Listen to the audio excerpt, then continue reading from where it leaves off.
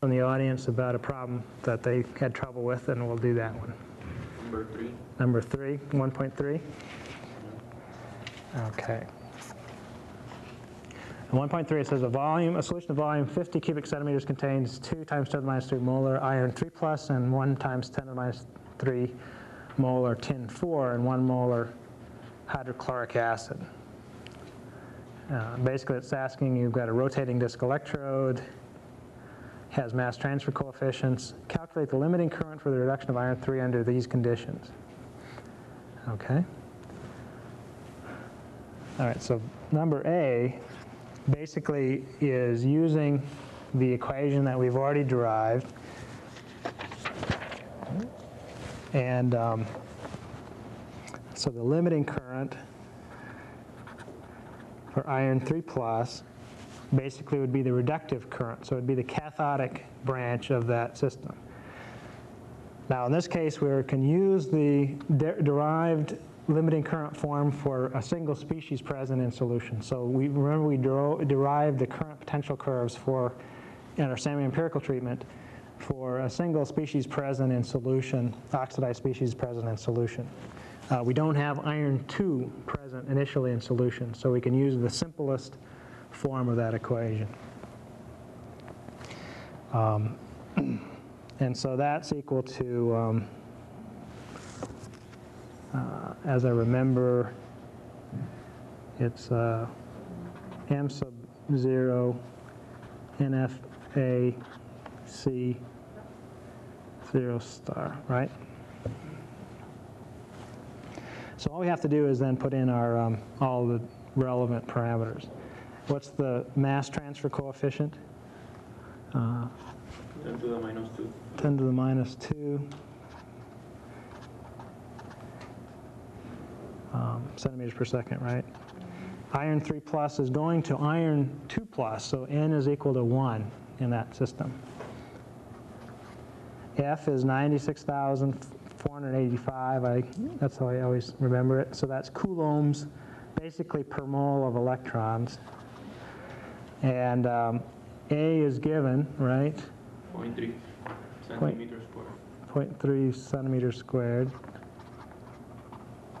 Where you might have some trouble now is if you do the units, you'll see that we've got units of cubic centimeters um, in the system. And so what we actually need to do is put in for bulk concentration, not the molar concentration, but the concentration in moles per cubic centimeter. Okay? Rather than moles per liter, we need moles per cubic centimeter. So that's kind of the tricky thing about the bulk concentration, especially in these electrochemical problems. So C sub 0 star is the concentration of iron uh, 3 plus, which was um, 2 times 10 to the minus 3 moles per liter. But if you do the math, you'll see that it's 2 times 10 to the minus 3 moles, 2 times 10 to the 6 moles per uh, cubic centimeter. There's a factor of um, 10 to the third in that system. Part B of the problem. Okay. Uh, I, yeah, okay, so that, that would be the thing. Actually, the answer then is uh, 5.79 times tin to the minus 4 amps. And then you can do the 10 the same way.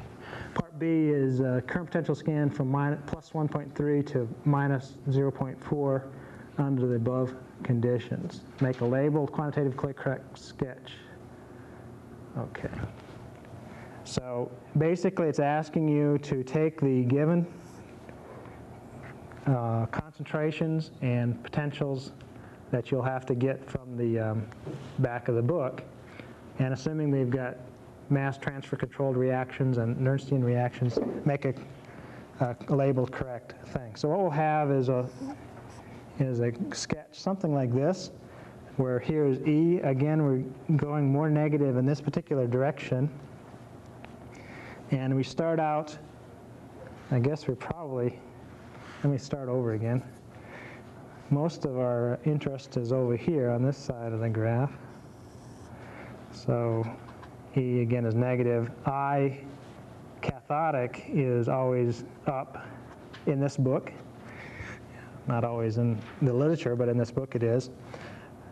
Well, we can write, I won't be able to draw it exactly right, but first of all, we can think about perhaps having a little bit of a curve here for oxygen. That doesn't really say anything about it, but that would be oxygen oxidation, oxygen production, I should say, by water oxidation. Then if we go to about uh, 0.77 volts, we'll see a curve like so. And that will be,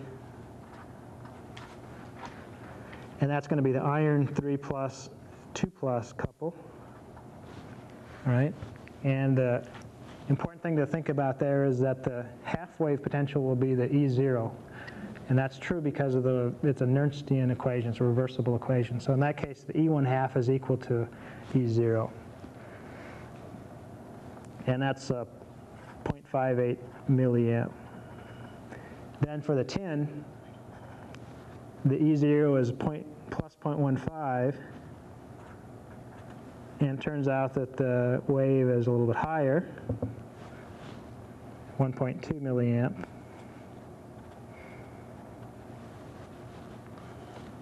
for the 10-4 SN4 plus to uh, SN3 plus. And then almost immediately we'd get some uh, reduction of protons in that system. So, but that would be about right for the uh, the sketch. So we've used the uh, the semi-empirical current voltage curve formula for a Nernstian process with one with uh, only the oxidant present initially, or the oxidized species present initially, uh, and we get the limiting currents for both processes. Notice they're cumulative. The limiting current for the tin 4 plus is on top of the limiting current for the tin for the iron 3 plus. Now those curves would look different if we had both iron 3 and iron 2 in solution, or if we had tin 3 and tin 4 in solution. Okay. So we, we can use the, the equation that you use in problem A, hmm um,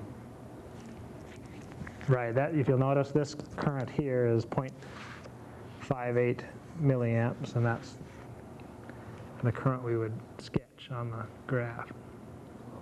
My, What- my, my question is, um, um,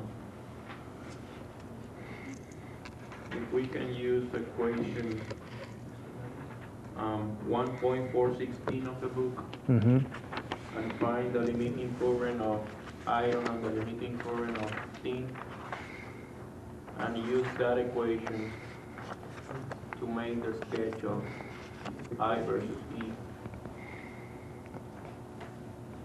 Um, Yeah, you could actually plot it based on that, uh, that equation, uh, to get an exact plot, okay?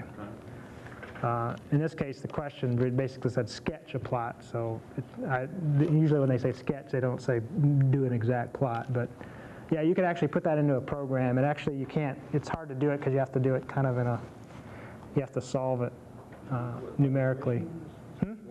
One point four One, six. 1.416. And that plot would give you the proper shape of the curve, particularly for the iron 3 plus species. The only, for the tin, then you would, if you wanted to use that, you would have to take that same current and just add it directly on top of the, what you've already had for the limiting current for the iron 3 plus. So you could use that curve, but you'd basically have to add those two plots together. Okay? Right, you can do that. The- the- I guess the main thing I would think about in a sketch is having the E1 half at the right position and the right limiting current. And basically the shape, you know, you know, uh, but an exact plot is not necessary when I say sketch. What is the limiting current in the second case for the, The 1.2 milliamps. what did you get this done? This- They have nearly everything the same. Like the only difference is that with two electrons. The limiting current for the tin is the same as the limiting current for the, for the iron. Maybe, They differ in the concentration, but the, uh, like one is double the concent, iron is three is double the concentration of tin two, tin four. but tin four has two electrons. Oh, yeah, I- you're right, I've messed that up, so. Yeah, in that case, that'd be the same.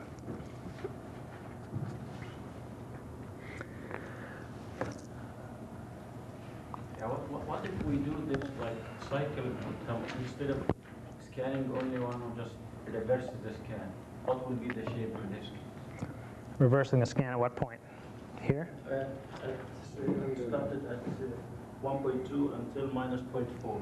If we reverse from minus 0.4 and go back. Well, this is a little bit hard to say because in this particular case, it- since it's a rotating disc electrode, we would expect to retrace exactly the initial, the curve out and back. Uh, Because it's at what they call steady state, the current is not dependent on time. So, and it also really doesn't depend on the, pre- in principle, it doesn't depend exactly on the previous state of the system because uh, we can, if we scan sufficiently slowly, it didn't really matter if we arrived here at this point from starting here or if we came back from some other point. So these are steady state curves and they would have the exact same shape going forward or backwards.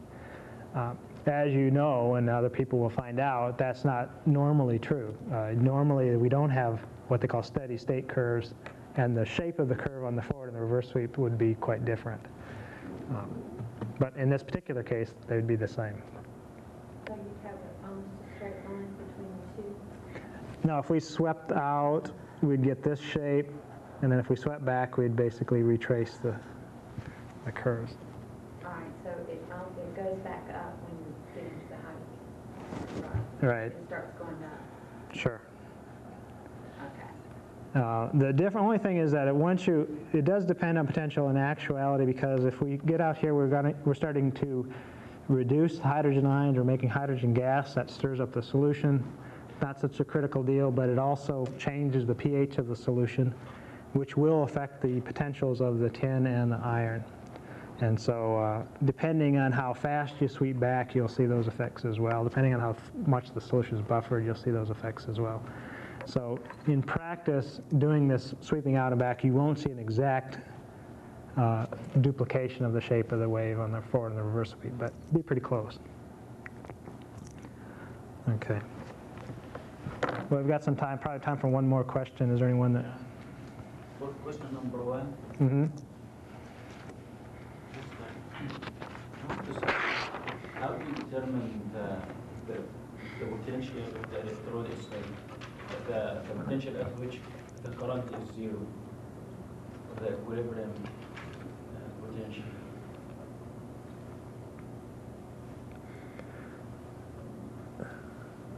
So in one, you're, you- I don't know if that's what's asking you, but is that what you want to know? Uh, yeah, For, for, for instance, for number A, Yeah. or just, uh, we got the group of, uh, like, possibility for the reduction and for the oxidation. hmm According to the book, it, he he doesn't show us how, how we determine the level of the potential Mhm. the platinum or the mercury electrode at which there, there is zero current. Yeah.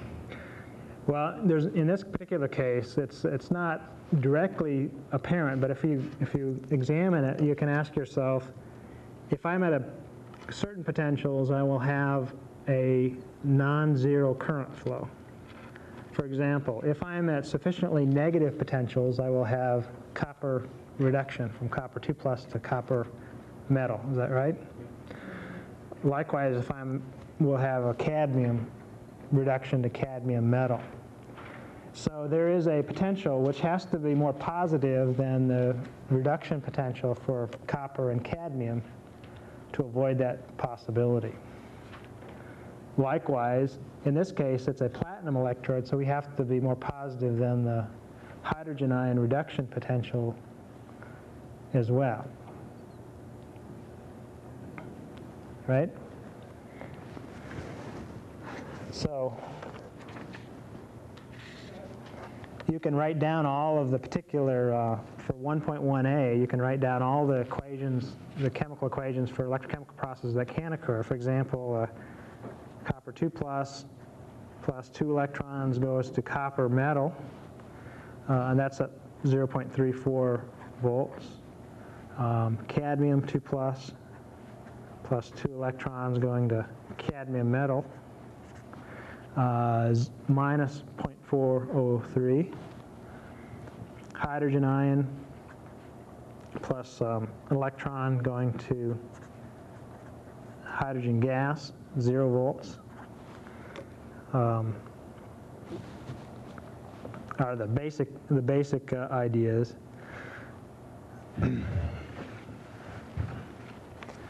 There are a number of other possibilities. For example, we can think about the reduction of water. That would be um, water reduction going to hydrogen gas plus hydroxide ions, and that occurs at about minus 0.8 volts.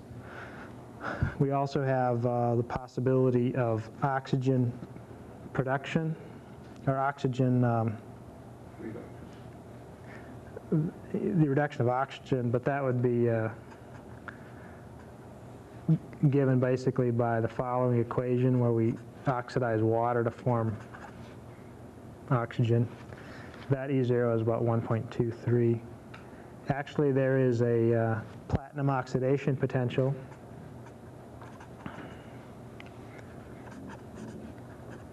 Okay, also at about probably 1.2 volts. So the question is, where would we be? We have to be at a place where there's zero current, okay? We can't be any more negative than uh, 0.34 volts because at that point we would be reducing copper ion to copper metal. And that takes into account, then we don't have to worry about cadmium or hydrogen because both of those are already more negative than that. So as long as we're more positive than 0.34 volts, we're okay. And for on the other side of the area, we'd have to be at least as negative or at least as positive as 1.2 volts in order, before we'd see, so for example, platinum being oxidized to platinum ion or water being oxidized to oxygen gas.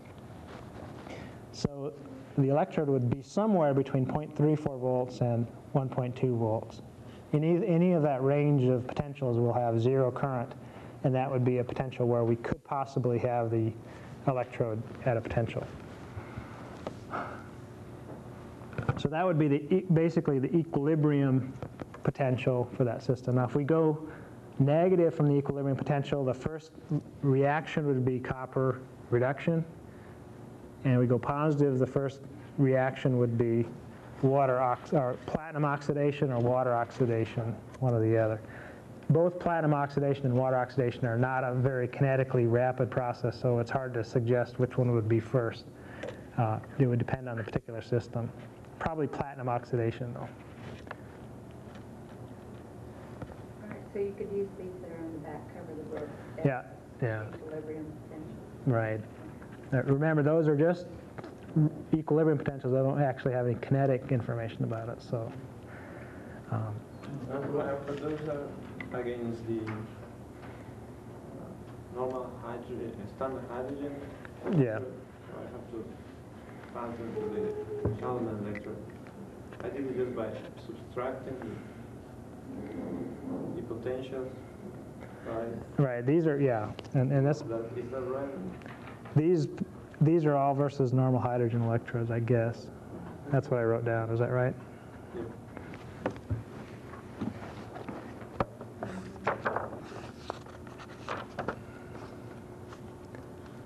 Well, just like I mentioned today, um, we can convert from one reference potential to the other simply by um, uh, subtracting off the calomel electrode potential.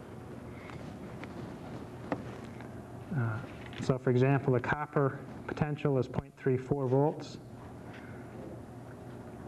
The SCE potential is about 0.24 volts. So the difference between, is 0.34 between the NHE, zero point, but it's only about 0.1 volt versus the, um, between the, for the SCE potential, okay? So here's our curve, and we, again, so the difference between these two potentials is only about a tenth of a volt, so, Roy, There is another possibility for the sulfate ions to be, to be oxidized to persulfate. Mhm. This one, right, you, or you, you don't take this into consideration because of the size of the ion. What's the potential for that?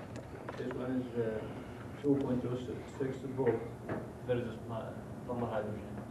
Yeah, well, that's point plus two, two volts, and so, yeah, you could continue to write possibilities, and so, but that's not going to happen because the first reaction would be either platinum or oxygen, not the sulfate oxidation.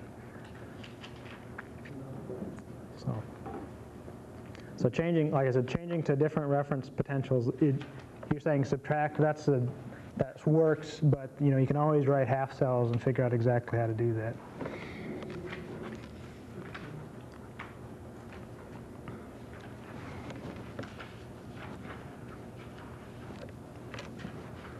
Is there any other one? Yes, sir. No problem, I see. In Program one point four, part A says, uh, the resistance between two power planar platinum electrodes of 0.1 square centimeters area, Mm-hmm. placed three centimeters apart in this solution. What I did was I used the, the formula that is x divided by kappa Yeah. I did area.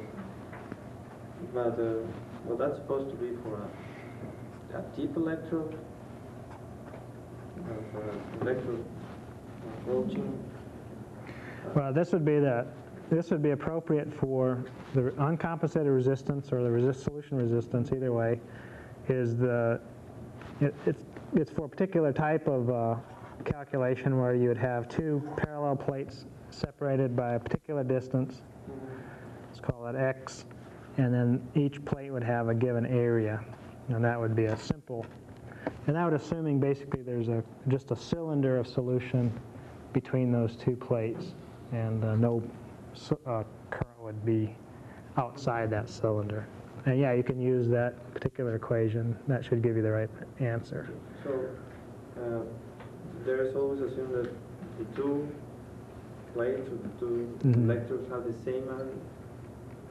In this case, we have to assume, for this particular equation to be correct, we'd have to assume those plates have the same area.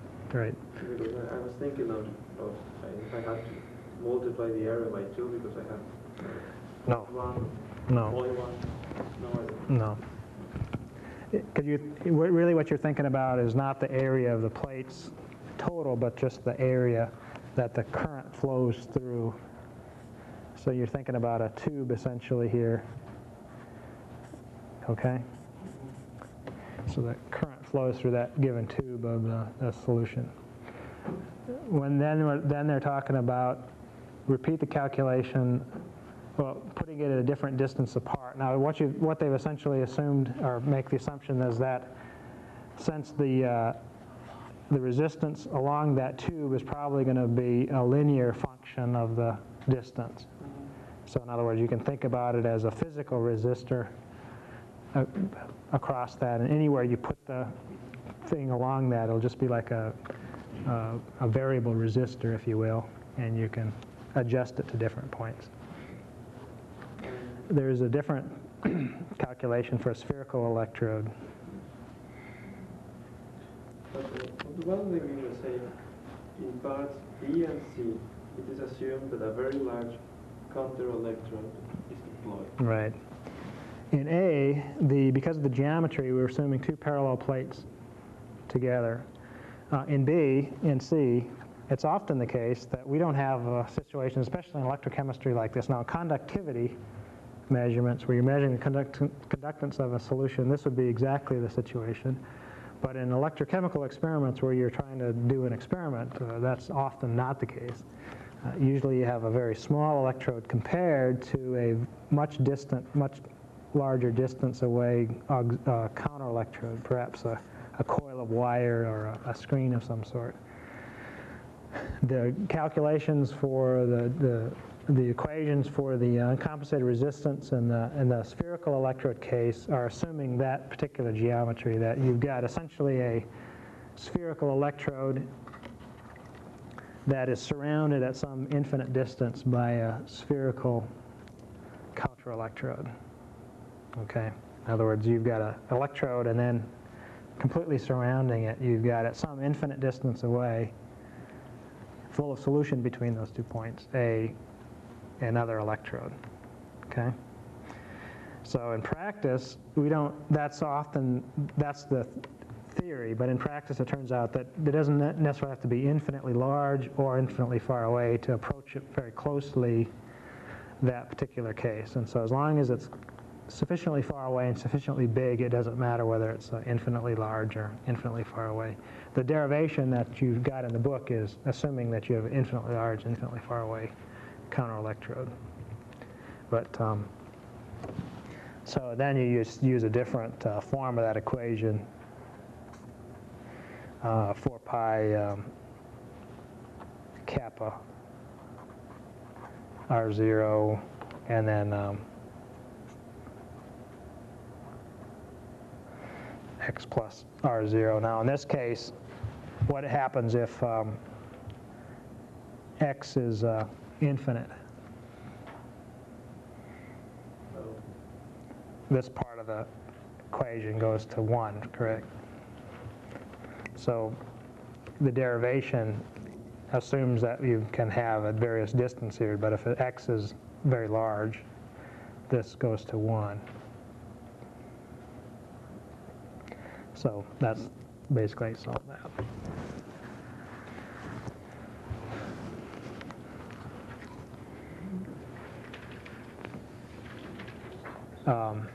I guess it doesn't, I- I'm, I'm sorry, I didn't, that's not exactly what the equation, question is asking. It is- You do, you can put in different values of x to get different values of the resistance.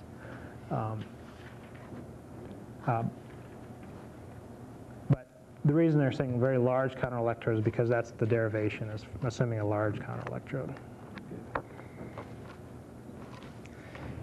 Well, we're basically out of time, so why don't we stop here?